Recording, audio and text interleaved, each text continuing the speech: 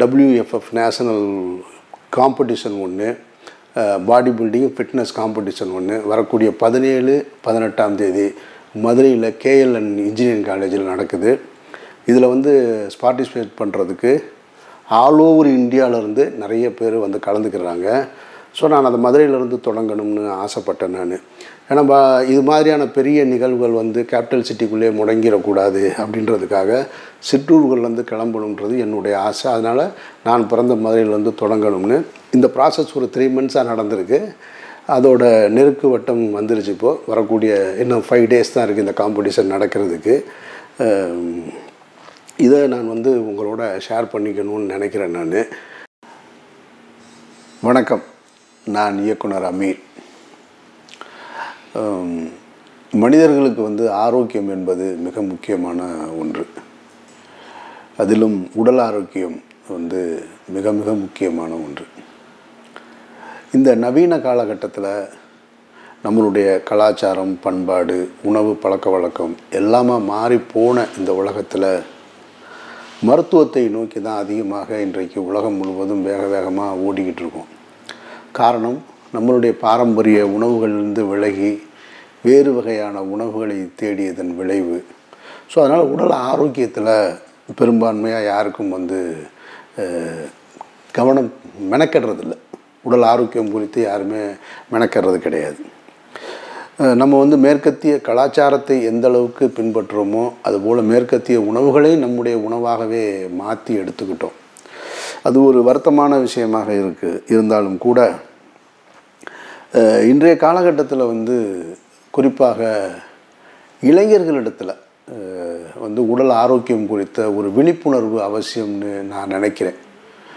திரைக்கலைஞர்கள் தான் வந்து six pack வச்சுக்கிறாங்க.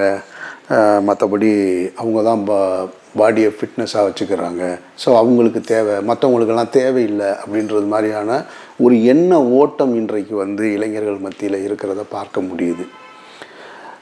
எனக்கு தெரிந்து நான் படித்த கல்லூரி காலகட்டத்திலிருந்து இன்றைய காலகட்டத்தை பார்க்கும் பொழுது கல்லூரி வாழ்க்கையை கடந்து வந்துட்டால் ஒரு ஒரு மாணவன் வந்து ஒரு ஒரு சிறந்த இடத்தை அடைய முடியும் அப்படின்ற இடம் தாண்டி இந்த கல்லூரி காலகட்டத்தில் இந்த வாலிப பருவத்தில் போதையிலிருந்து எப்படியாவது தப்பிச்சு வந்தால் போதும் அப்படின்ற நிலைமைக்கு இன்றைக்கு சமூகம் தள்ளப்பட்டிருக்கிறது மிகவும் வருத்தத்துக்குரிய ஒரு விஷயமாக பார்க்குறேன்.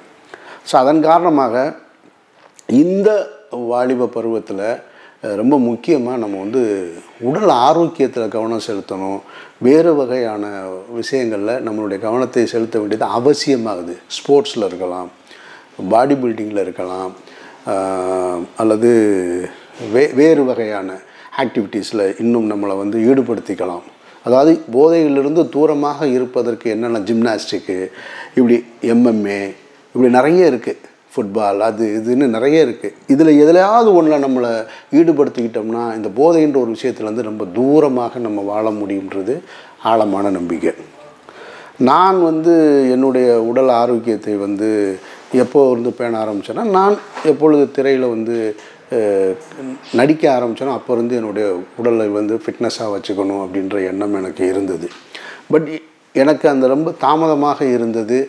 இன்னும் எல்லோருக்குமே தாமதமாக வரக்கூடாது அப்படின்றது என்னுடைய எண்ணம். ஸோ அப்போ இந்த காலகட்டத்தில் நான் பார்க்கும் பொழுது இன்றைக்கு கல்லூரி மாணவர்களை பார்க்கும் பொழுது யாருக்குமே வந்து ஃபிட்னஸ் மேலே வந்து ரொம்ப இன்ட்ரெஸ்ட் குறைஞ்சதாக இருக்குது அதிகமான ஜங்க் ஃபுட்டு அதிகமான ஃபேட் ஃபுட்டு இதெல்லாம் எடுக்கிறத பார்க்கும் பொழுது சின்ன வயசுலேயே பெரிய ஆட்கள் போல் தெரியுறாங்க. அது வருத்தத்துக்குரிய ஒரு விஷயம்தான் நான் நினைக்கிறேன் நான். அதனால் இன்றைக்கு நான் ஒரு செலிபிரிட்டியாக இருக்கிற காரணத்தினால் எனக்கு வந்து இந்த அவேர்னஸை மக்களிடத்தில் கொண்டு போய் சேர்க்கணுன்ற எண்ணம் இருந்தது. அந்த அடிப்படையில் எனக்கு ட்ரெயினராக வந்த என்னுடைய மோகன் அவர்கள் வந்து நிறைய competition body building fitness competition வந்து நிறையா நடத்தியிருக்காரு. ஸோ அப்போ இது மாதிரியான ஒரு காம்படிஷனை ஏன் நாம் நடத்தக்கூடாது அப்படின்ற எண்ணம் எனக்கு தோணுச்சு. நம்ம கொண்டு போய் மக்களிடத்தில் அதிகம் சேர்ப்போம்னு சொல்லி அந்த அடிப்படையில் டபிள்யூஎஃப்எஃப் நேஷனல் காம்படிஷன் ஒன்று பாடி பில்டிங் ஃபிட்னஸ் காம்படிஷன் ஒன்று வரக்கூடிய பதினேழு பதினெட்டாம் தேதி மதுரையில் கேஎல்என் இன்ஜினியரிங் காலேஜில் நடக்குது. இதில் வந்து பார்ட்டிசிபேட் பண்ணுறதுக்கு ஆல் ஓவர் இந்தியாவிலேருந்து நிறைய பேர் வந்து கலந்துக்கிறாங்க. ஸோ நான் அந்த மதுரையிலேருந்து தொடங்கணும்னு ஆசைப்பட்டேன் நான். ஏன்னா இது மாதிரியான பெரிய நிகழ்வுகள் வந்து கேபிட்டல் சிட்டிக்குள்ளே முடங்கிடக்கூடாது அப்படின்றதுக்காக சிற்றூர்கள்லேருந்து கிளம்பணுன்றது என்னுடைய ஆசை. அதனால் நான் பிறந்த மதுரையிலேருந்து தொடங்கணும்னு. இந்த ப்ராசஸ் ஒரு த்ரீ மந்த்ஸாக நடந்திருக்கு. அதோட நெருக்கு வட்டம் வந்துருச்சு இப்போது வரக்கூடிய இன்னும் ஃபைவ் டேஸ் தான் இருக்குது இந்த காம்படிஷன் நடக்கிறதுக்கு. இதை நான் வந்து உங்களோட ஷேர் பண்ணிக்கணும்னு நினைக்கிறேன் நான். இதில் அப்போ அவர்களை நம்ம ஊக்குவிக்கிறக்காக என்ன பண்ணலாம்னா இது வரைக்கும் கேஷ் ப்ரைஸ்ன்றது ரொம்ப குறைவாக அறிவிக்கப்பட்டிருந்திருக்கு. தமிழ்நாட்டு அளவில் ஸ்டேட் அளவில் பார்த்தீங்கன்னாக்கும் ஒரு குறைவானதான். ஃபஸ்ட் டைமாக பத்து லட்ச ரூபா வரைக்கும் கேஷ் ப்ரைஸ் கொடுக்கறதாக இந்த காம்படிஷனில் நம்ம முடிவு பண்ணியிருக்கோம். ஸோ இதோட ரெஸ்பான்ஸ் என்ன இருக்குது இதில் மக்களிடத்தில் எந்த அளவுக்கு சேருதுன்றதெல்லாம் தெரிஞ்சுக்கிட்டு இனி அடுத்தடுத்த காலகட்டங்களில் ஃப்ரீக்குவெண்ட்டான ஒரு டைம் எடுத்துக்கிட்டு இந்த கேஷ் ப்ரைஸை இன்னும் இன்க்ரீஸ் பண்ணலான் இருக்கேன். வேறு வேறு ஊர்களில் நடத்தலான் இருக்கேன். இது தொ இதுதான் என்னுடைய முதல் நிகழ்ச்சி.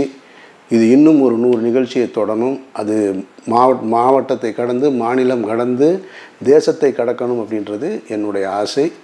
உங்களுடைய வாழ்த்துக்களோடு நடக்கணும். நன்றி.